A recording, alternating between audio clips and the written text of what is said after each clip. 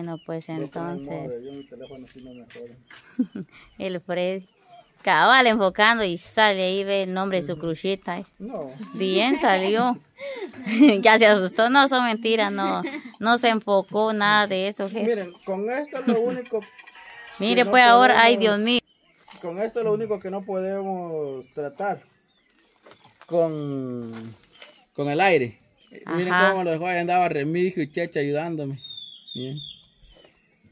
Y eso ya estaba, o sea, ya estaba grande. Miren. Es cierto, pues. Pero de ahí, Yo y me acuerdo, me yo cargó. pasé, yo pasé viendo por ahí, me acuerdo que cómo estaban. Y aquí pegué buenas milpas también. O sea, como les digo, es que uno le tenga que echarle ganas.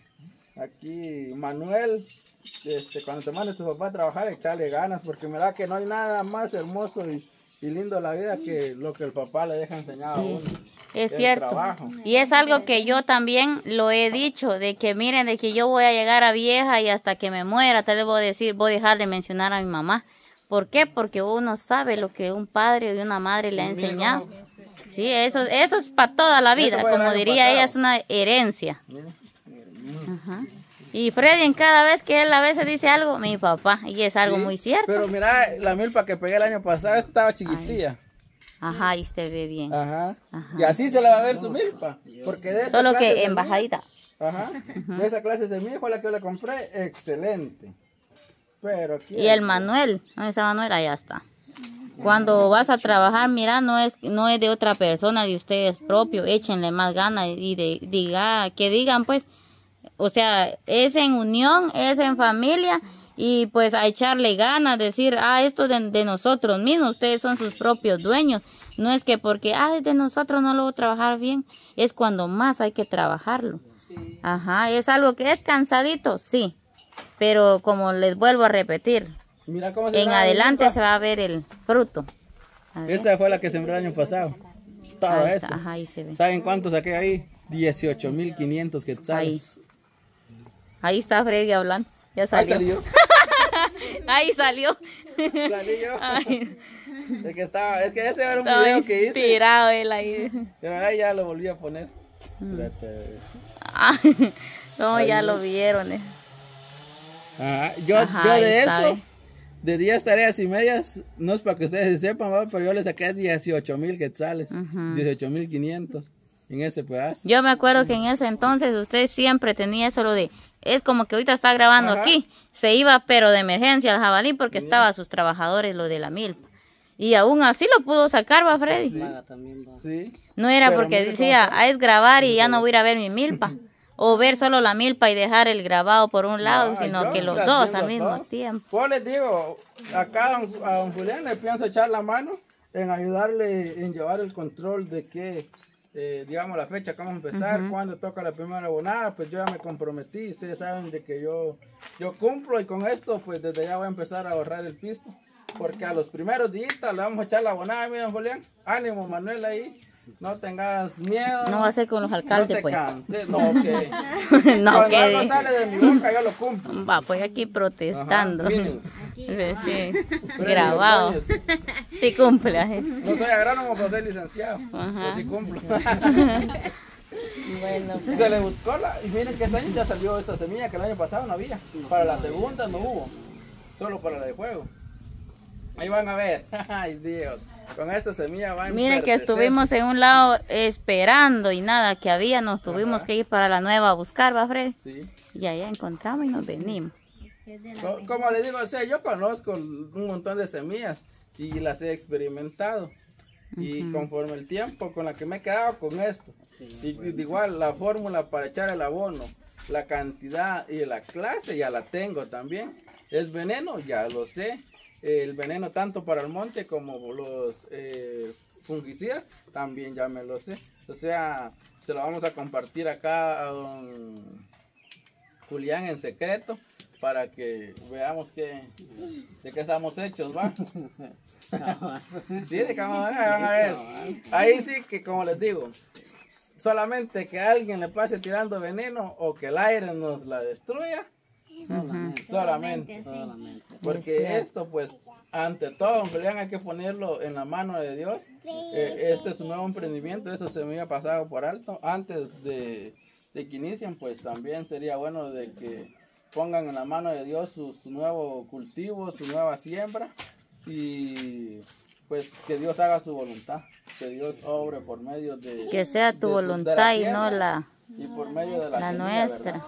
Porque es muy importante también poner primero, eh, sobre todo, en las manos de Dios, a pesar de nuestras habilidades que tengamos de trabajar, ah, de nuestra experiencia, este, todo hay que ponerlo en las manos de Dios. Ajá. Para que este pues Dios sea el que va a proveer, Dios sea el que va nos va a echar su bendición desde el cielo, tanto con la lluvia y como de retirar cualquier envidia de, de todo, eh, de retirar cualquier plaga, de cualquier animal que ande rondando en nuestros cultivos. En esta ocasión, pues créanme que es muy importante ponerlo, como le digo, sobre todo en las manos de Dios, porque Él va a ser el creador, que nos va a echar la bendición, porque mire, la semilla y el veneno ya lo tiene.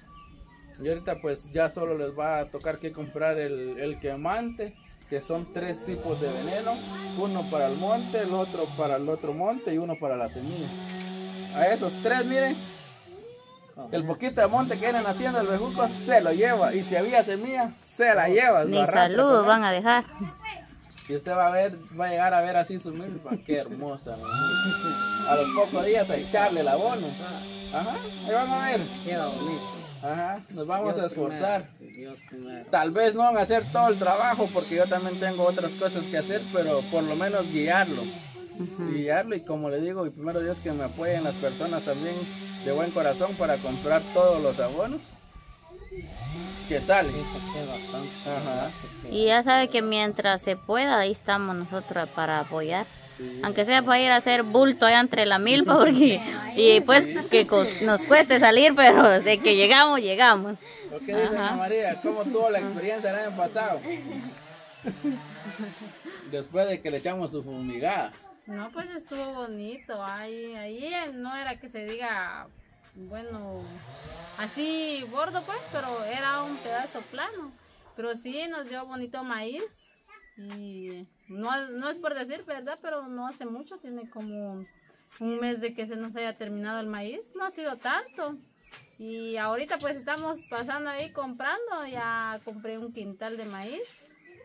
Ah, pero ahí vamos juntando el dinero con Manuel, pero del Nance, porque acá, pues por el momento Julián no ha estado trabajando porque se ha ido conmigo a ir a limpiar los nanzales y ahorita pues él me está ayudando a pepenar porque le digo yo, mira, le digo yo a él, si vamos a pagar uno, ¿quién nos viene a ayudar para pepenar el Nance?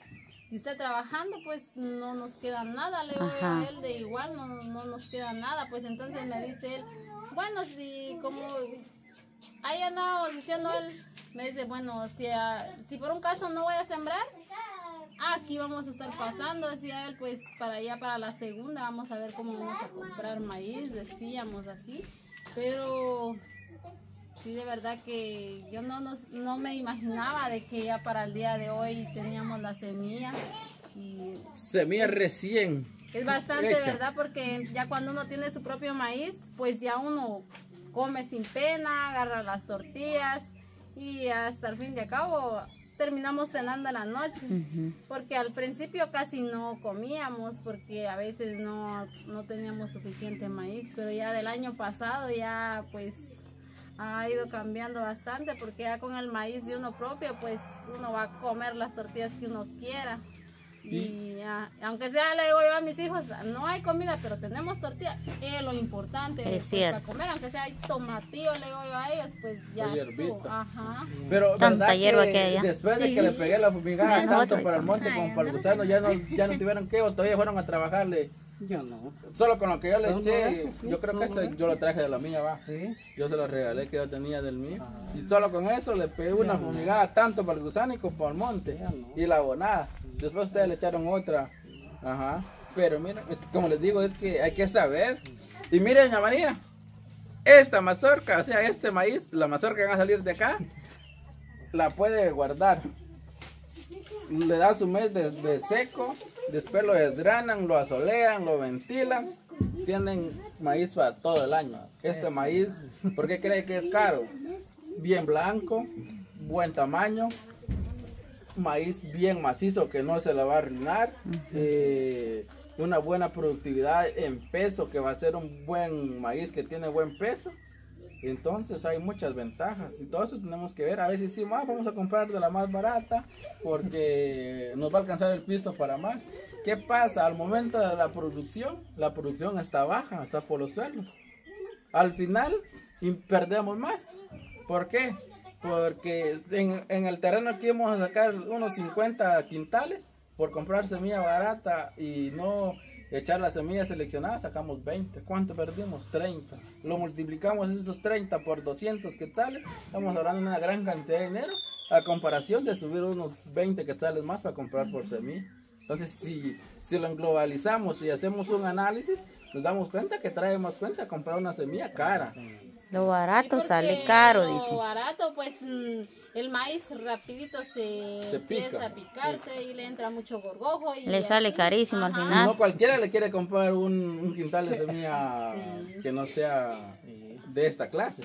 Hoy los camioneros, si no es de esto, adiós, ni los saludan, ni, sa- ni, Ah, ah, no es buen maíz, dicen luego. Si Preguntan. Peor todavía. Y lo andan registrando, ahí dice buen maíz. ¿no? Hasta Maíz, le hacen así que meten la mano que si está bien seco, le hacen así con la mano que si pesa o no pesa, ajá. Yo he andado vendiendo maíz también. ¿Verdad que sí? Ah, pues sí. Yo, yo Pero sí me he dado cuenta, yo por andar de chute con yo mi tía. en ese terreno primero Dios va a salir bueno.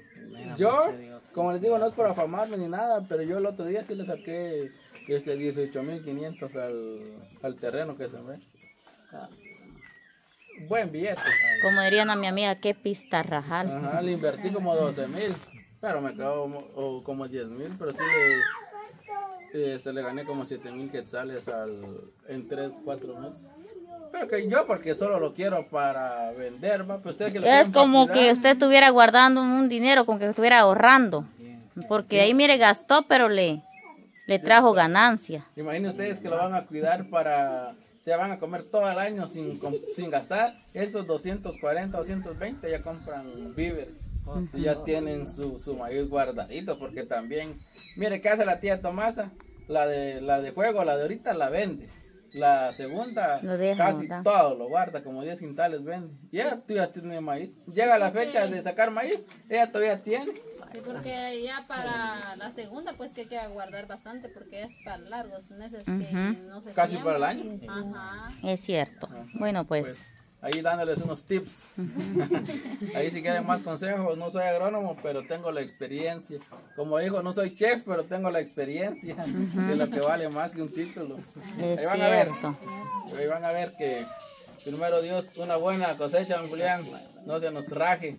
Ya, ya tiene para la primera abonada, que es la más importante, para que su milpa no le crezca amarilla como la del año pasado, no que va a pegar una. Entonces nos vemos. Yo no me imagino, me, o sea, me, me imagino al ver tanto maíz, al, al, al pensar, ¿verdad? Pero 60 mil matas. ahí sí, gracias a doña Rosalba, de 60 verdad, doña Rosalba, muchísimas gracias, de verdad que gracias por la semilla. Estoy muy agradecida, de verdad, de que Dios la va a bendecir a usted bastante. De verdad que usted tiene una bendición de arriba. Y créame de que usted lo va a ver algún día a lo grande, porque todo eso lo que está haciendo por nosotros, mil gracias, porque de verdad el maíz, sembrarlo, en que en estar comprando sale más caro. Y gracias a usted, de verdad, mil gracias por todo lo que usted nos está haciendo llegar. De verdad que nosotros no tenemos en qué manera recompensarla lo que usted está haciendo por nosotros, pero es bastante, es muchísimo. Y mil gracias por todo lo que usted nos ha mandado. Gracias. Bueno, pues entonces con esto dejamos el video por acá. Y siempre nosotros le seguimos mostrando cómo va a ir el avance. Primero Dios de la siembra, luego la abonada y cómo va a terminar, ¿verdad? Nos vemos en un próximo video.